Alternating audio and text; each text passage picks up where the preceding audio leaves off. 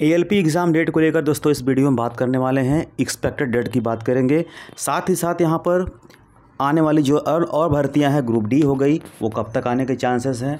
साथ ही साथ दोस्तों, यहाँ पर जो एनटीपीसी हो गया टेक्नीसियन हो गया एलपी हो गया आरपीएफ हो गया, इन सभी भर्तियों पर आने बात करेंगे आखिर इसकी इन सब की भर्ती कब तक आएगी, परीक्षा कब तक होगी। हम एल दोस्तों परीक्षा की बात करेंगे, आखिर संभावित कब तक तिथि आ सकती है और कब तक एक्सपेक्टेड है। दोस्तों, चैनल पर नए होंगे तो सब्सक्राइब कर लो बेलाइकन को प्रेस कर लो आपको पता है, इस चैनल पर हम रेलवे की जब भर्ती होती है, फिर नोटिस होती है, सब कुछ हम इस वीडियो वीडियो के माध्यम से आपसे हम रूबरू होते हैं। तो आप लोग दोस्तों, चैनल को सब्सक्राइब ज़रूर कर लीजिए, ताकि आपको आने वाली अगली वीडियो मिल सकेगी। दोस्तों, मैं बात करता हूँ यहाँ पर कि एग्ज़ाम को लेकर के, परीक्षा को लेकर के आपको पता है, दोस्तों की जो भर्ती हमारी थी, कितनी थी? पाँच हज़ार थी। दोस्तों, पाँच हज़ार से बढ़ा करके अठारह हज़ार कर दी गई है। मतलब कि समझ लो दोस्तों यहाँ पर तीन सौ परसेंट का इजाफा हुआ है। तीन सौ परसेंट का दोस्तों इजाफा हुआ है। और इस भर्ती में दोस्तों यहाँ पर लगभग लगभग जितने भी छात्र थे, जिन जिन लोगों ने अप्लाई किया था, उनको ही मौका दिया गया है। लगभग नहीं, हंड्रेड परसेंट उनको ही मौका दिया गया है, बाकी अदर को मौका नहीं दिया गया है।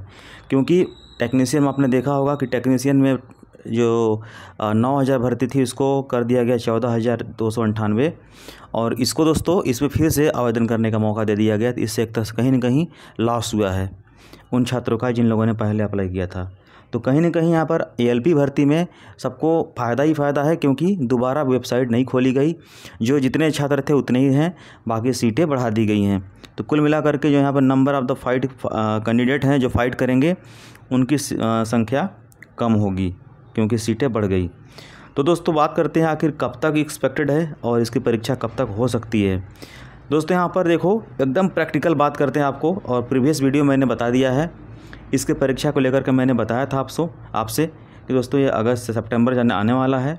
सितंबर में परीक्षा किसी हाल में नहीं होने वाली है ऐसी, ठीक है? अक्टूबर में परीक्षा दोस्तों आपकी अक्टूबर के मिड तक हो सकती है।